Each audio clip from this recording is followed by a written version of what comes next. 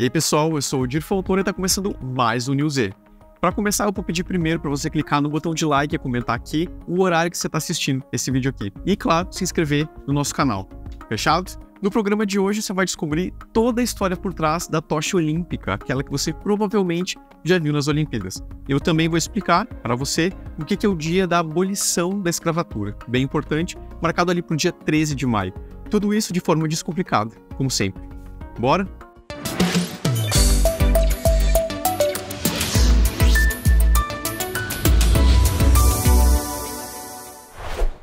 Tocha olímpica. Você sabe o significado dela? Vem que eu te explico. Provavelmente você já viu alguma coisa sobre a tocha olímpica por aí, né?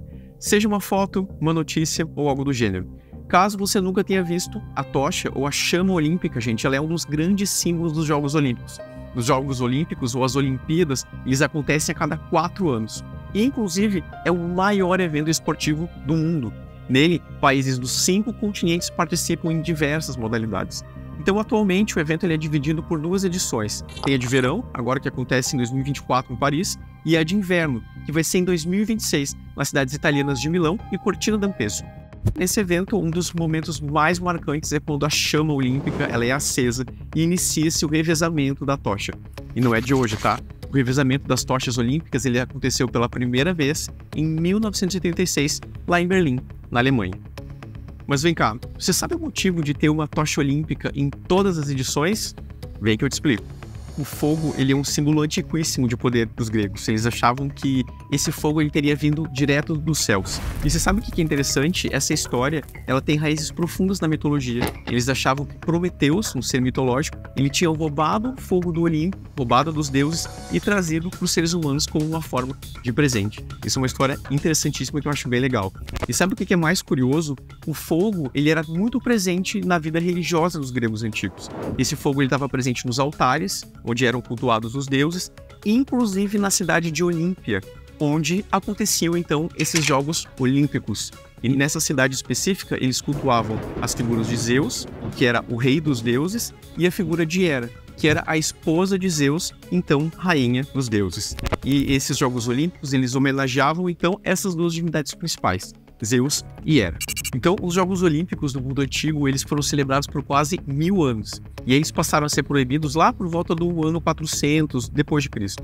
Isso aconteceu porque a sociedade greco-romana da época, ela estava se tornando cada vez menos pagã, ou seja, ela acreditava menos nos deuses e passava a ser mais cristã. Então, esses jogos já perderam sentido. E aí, em 1896, o Pierre de Coubertin, ele resolve reviver esses jogos. Não por causa de um sentido religioso, mas para valorizar os esportes. Em 1928, a gente tem a construção da primeira pira, primeiro fogo dos Jogos Olímpicos modernos. Em 1936, começa esse ritual muito legal, que os atletas passam esse fogo sagrado entre si, se revezando. E sabe o que é mais legal? Hoje em dia, na verdade, nos últimos dias atrás, esse fogo ele foi aceso novamente na cidade de Olímpia, na frente das ruínas do antigo templo de Hera. Eles pegaram os raios solares e, a partir disso, fizeram então esse fogo sagrado que vai ser utilizado nas Olimpíadas agora desse ano.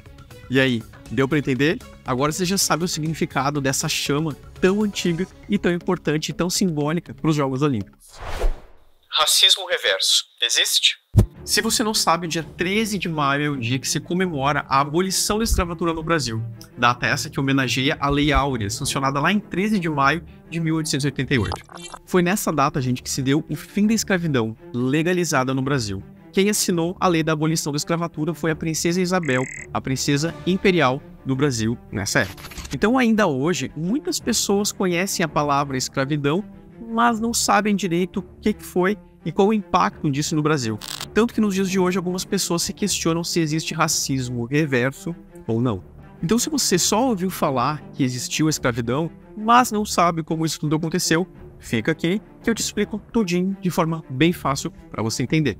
Então vejam só, gente, a escravidão ela foi um dos processos mais traumáticos e mais violentos da história do Brasil. Foram quase 5 milhões, vejam só, 5 milhões de pessoas que foram escravizadas ao longo do tempo pessoas que foram arrancadas do lugar onde eles viviam em vários pontos do continente africano, trancafiadas nos navios negreiros, e levadas à força para o Brasil. É curioso a gente notar que esses navios eles também eram chamados navios tumbeiros, porque eles eram como que tumbas que traziam as pessoas da África até o Brasil, porque muitos desses escravizados morriam no meio do caminho.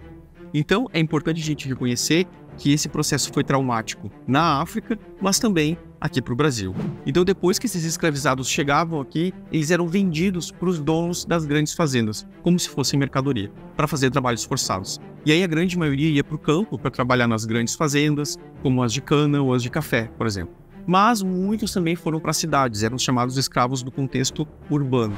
Então foram mais de 300 anos, é muito tempo em que pessoas, famílias, aldeias inteiras foram destruídas, culturas foram apagadas, línguas, religiões, costumes, gente, às vezes milenares, foram esquecidos por causa dessa escravidão. Então não tem como achar que isso não vai deixar cicatrizes profundas na nossa sociedade, porque sim, até os dias atuais, a começar pela própria abolição dessa escravidão legalizada. Porque quando ela foi proibida em 1888, todos os agora ex-escravizados foram jogados ao relento, sem assistência, sem cuidado, sem ter onde morar. Assim surgem as grandes periferias, as favelas, as multidões desses rejeitados que, excluídos dessa sociedade, mesmo depois da abolição, eles vão continuar sendo excluídos, sem nenhum acesso à saúde, possibilidade de educação, trabalho formal, por causa desse racismo, gente, que foi muito além da abolição que durou e dura até hoje. Então vejam só que não tem como falar em racismo reverso, porque pessoas brancas nunca passaram por esse processo violento e traumático que pessoas negras sofreram na história do Brasil. Se em algum momento da história pessoas brancas tivessem passado pelo processo da escravidão na mesma intensidade, na mesma quantidade, na mesma intensidade que as pessoas escravizadas sofreram, talvez aí a gente poderia falar, mas isso nunca aconteceu. Então, não existe racismo reverso porque hoje pessoas brancas ainda acessam mais a educação formal, ainda têm acesso aos melhores trabalhos e ainda ganham os melhores salários. Não tem racismo reverso porque o racismo é algo da nossa estrutura e da nossa história. E aí, gente, deu para entender um pouco melhor esse tema tão difícil e tão complexo que é o da escravidão na história do Brasil? Se não ficou claro, conta pra gente nos comentários que a gente segue conversando. E se deu para entender, conta também que a gente gosta de saber. Fechou? E olha só, para falar sobre as novidades do mundo pop, a gente trouxe a querida Edmara Galvão, que vai falar coisas bem legais pra gente, especificamente sobre o Christopher Nolan. Tem novidades dele, Edmara? Oi, Odir. Pois é, o Christopher Nolan foi o grande diretor desse ano ao ganhar o Oscar com Oppenheimer, mas esse não é o único sucesso dele. Na real, ele coleciona vários, né? Mas hoje a gente vai falar de A Origem, filme de 2010 estrelado por Leonardo DiCaprio, que conta a história de um ladrão profissional especialista em roubar segredos do inconsciente ao adentrar os sonhos das pessoas. O longa de ficção científica fez muito sucesso, inspirou um monte de teorias, a galera ficou alucinada com as paisagens oníricas, com os sonhos dentro dos sonhos, mas tem um porém. Existe uma polêmica em torno desse filme, que é a semelhança entre ele e a animação Páprica, de 2006, dirigida por Satoshi Kon, a começar pela premissa. Páprica é inspirado em um livro de mesmo nome. No filme, um grupo de cientistas tenta descobrir quem roubou o Decemine, um dispositivo que permite entrar no sonho de pessoas para ajudar em tratamentos psicológicos. Mas as semelhanças visuais são as mais impactantes. A cena do corredor do hotel em A Origem é inegavelmente semelhante com a de Páprica, e esse não é o único exemplo enquadramentos parecidos, elevadores que levam para sonhos diferentes e até mesmo a roupa das protagonistas é meio parecida. Bom, até hoje o Christopher Nolan nunca assumiu se Páprica realmente é uma inspiração para ele ou não. Seja como for, são dois filmes ótimos que eu particularmente adoro. E você, Erodir, achou parecido? Mara, olha só, eu particularmente também não conhecia animação, fiquei conhecendo agora, mas de qualquer forma, inspirado ou não, esse filme da origem ele é um clássico. Eu lembro que em 2011, quando ele foi lançado, ele ganhou três Oscars, então ó, merecido também. Infelizmente, o programa de hoje está chegando ao fim, mas semana que vem eu volto com mais conteúdo fresquinho para vocês. Sei que vocês gostam, não vou perder a aula do professor, hein? E olha só, para ficar informado de tudo que acontece no Brasil e no mundo, confere sbtnews.com.br. É bem fácil e bem intuitivo. Ah, e uma coisa bem importante também. Você que está vendo esse vídeo, comenta aqui e conta pra gente se vocês gostaram do episódio ou não. Se tem mais ideias também, a gente adora ouvir a opinião de vocês. E é isso, gente. Até a próxima. Fiquem bem. Beijo. Tchau.